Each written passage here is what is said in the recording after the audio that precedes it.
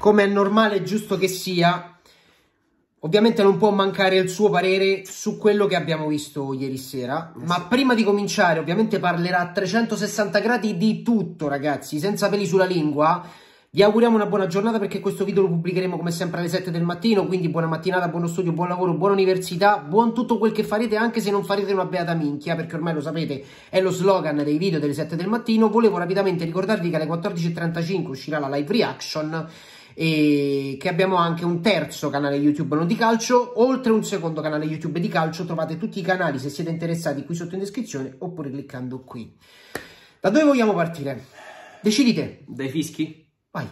Che secondo me non c'entrano nulla con, con, questa partita, eh, perché ovviamente si gioca Italia-Spagna e non, eh, che ne so, Milan-Real Madrid, Milan-Paris Saint-Germain, visto che comunque c'è questa disputa tra Donnarumma e i tifosi del Milan che si sentono ancora feriti dopo l'addio di Donnarumma appunto per il Paris Saint-Germain non c'entrano nulla i club in questa partita, quindi sinceramente trovo poco eh, gradevoli innanzitutto, eh, poco chiari eh, i fischi indirizzati al giocatore, subissato dai fischi, sinceramente non ne trovo proprio il senso, devo essere sincero. Hanno provato subito, poi con gli applausi a coprire i fischi, ma questa nota a margine, ma io sono assolutamente d'accordo. Hanno sta, destabilizzato. Non è una cosa che sta nel cielo e in terra. Questa sera si giocava una partita fondamentale perché eh, dovevamo confermarci come non era un dell'altro, non era un amichevole e soprattutto affrontavamo quella Spagna che il 6 di luglio, di, insomma parliamo di due mesi fa, ecco. eh, due o tre mesi fa, quant'era non mi ricordo,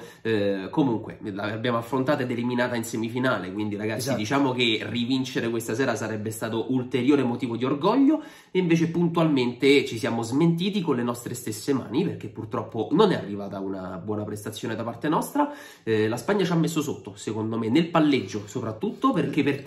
La reazione c'è stata, La reazione, c'è stata, però se tu vai a vedere il dato finale 75% di possesso Eh, palla alla grazie, grazie con l'espulso. Ok, hai provato, hai provato a fare tutto il possibile, comunque nel secondo tempo hai pure trovato un gol, ma ormai era praticamente la partita chiusa, impossibile da recuperare, sotto comunque di un gol, di un Sai che io uomo. ci stavo a credere?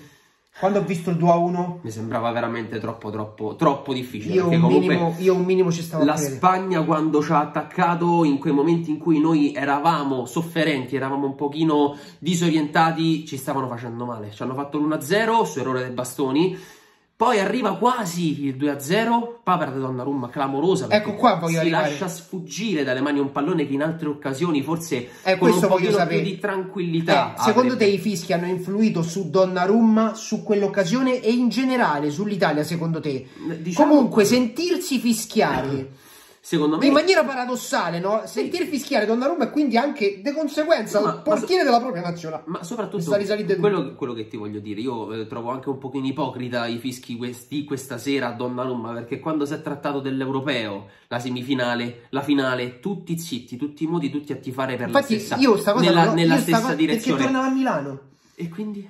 E quindi gliela do- dovevano far do- pagare. Dove sta il problema? Gliela dovevano far pagare. Io veramente e ci no. devono rimettere, ci deve rimettere tutta la Cioè, tifoseria è, italiana. È pazzesco, è pazzesco quello che ho visto stasera. Veramente lo, lo trovo fuori di ogni luogo, fuori di ogni ragionamento logico. Non, veramente non, non riesco non No, ries- ragazzi, non mi è riuscirei piaciuto. a parlare di altro. Ragazzi, non stata- mi è piaciuto neanche a me. Non è un atteggiamento. Dice, ah, uno mi ha scritto, in più di qualcuno mi ha scritto, eh, ma tu non puoi capire, non sei tifoso del Milan. Ma ragazzi, Raga, ma la posso dire una cosa? ma sti cazzi, ma Cioè, sti cazzi. Ma che cazzo me ne Ma fregate del se, Milan? se stiamo a giocare una semifinale, possiamo andare in Scusatemi, eh. finale di Nations League, stiamo a pensare a Donnarumma ancora sta storia col Milan. No, ma soprattutto, è ragazzi, capitolo chiuso, finito, capitolo- punto, basta. Donnarumma e l'Italia sono una cosa. Esatto. Donnarumma e il Milan sono un'altra. Esatto, raga, non- non ci vedo- cioè, mi sembra tanto facile da, da comprendere, tanto lineare, cioè, non lo so perché, vabbè. Io mi sono sta che- stranito, io mi sono stranito e poi ti lascio parlare. Sì, sì, sì, sì. Perché ovviamente per come si era indirizzata la partita, eravamo partiti a bomba, eravamo partiti benissimo,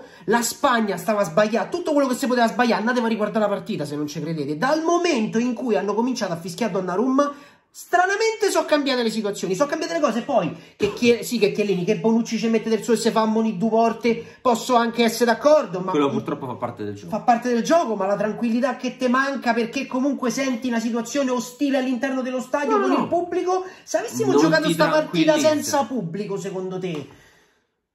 Guarda, ti dico la verità, non lo so fino a che punto eh, comunque saremmo riusciti a battere la Spagna, perché obiettivamente, ripeto, per quello che hanno Fabio, fatto... per come eravamo partiti, secondo Per- me stavamo a fare benissimo. Eh, ho capito, sei partito e poi?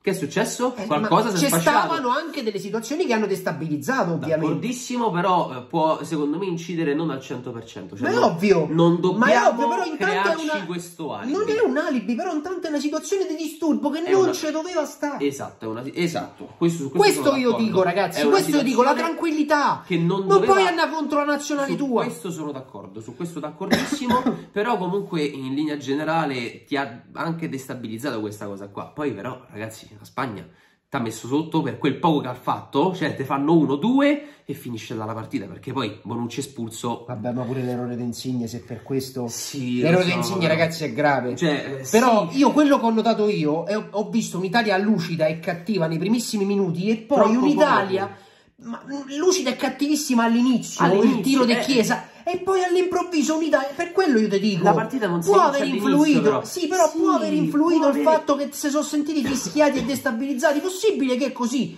Tutti i brocchi all'improvviso sono diventati. La nazionale che aveva vinto l'Europeo, eravamo partiti bene, Ma Basta. però ti posso dire a maggior ragione, una nazionale campione d'Europa non deve lasciarsi eh, trascinare da queste cose che per quanto possano essere destabilizzanti, dovresti riuscire un una attimino parola, a ricreare... perché un conto è che ti fischiano l'avversario, un conto è che ti fischiano quelli tuoi. Lo so, lo so, sì sì sì, su, su questo c'è ragione, però io comunque non riesco a dare un alibi totale per questa Ma situazione. manco io ce lo voglio dare, però tu capisci bene che io sta partita la vorrei rivedere in condizioni normali per giudicare. Perché se io mi vedo una cosa del genere all'inizio e poi vedo che perdo in quel modo, Sì. con quelle leggerezze che l'Italia comunque bene o male non aveva più mostrato, e permetti che io un'idea me la faccio, mi faccio una domanda e mi do una risposta? Sì, sì, Questo sì. è quello che io penso. Eh, c'hai, pure ragione perché comunque fino ad un certo punto c'è può stare questo tipo di discorso, poi giustamente se non c'è sta una certa situazione che abbiamo continuato e riperpretato per tutta la partita, secondo me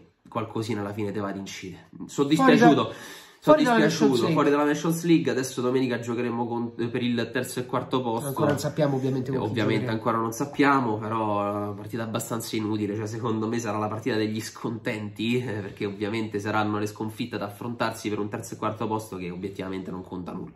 Non conta assolutamente nulla. Non conta nulla. Ragazzi, io ci puntavo tanto. Io ci puntavo tanto perché oggi battere la Spagna Guarda, sì, eh, ed eventualmente andare in finale. detto- l'ho detto io all'inizio, sarebbe stata un'ulteriore riconferma e Ma un quello ti serve, quello ti serve se vuoi puntare Però te posso, te posso dire la verità, Eh. io non avevo delle buonissime impressioni. Cioè, per chi ci ha seguito durante tutto l'europeo, ehm, Sa che tu vi, c'avevi vi ricorderete che avevo sempre delle ottime sensazioni, qualunque partita dovessimo affrontare. Per questa sera, devo essere sincero, queste ottime sensazioni non ce ne ho avute neanche per 5 minuti. Ah, percepivo comunque un certo tipo di disagio, poi comunque avevamo delle assenze, perché qualche, Ce l'avevano pure loro. Ce l'avevano anche loro. Morata, Moreno. Morata, Moreno, Invece ok. mancava Belotti immobile. Là. immobile, Chiellini? Chiellini. Eh sì, buonanotte. Spinazzola. Spinazzo- eh sì, vabbè raga, scusate, mi sono, mi sono un attimo completamente di- distrutto. Spinazzola, sì, comunque raga, obiettivamente qualcuno ci mancava.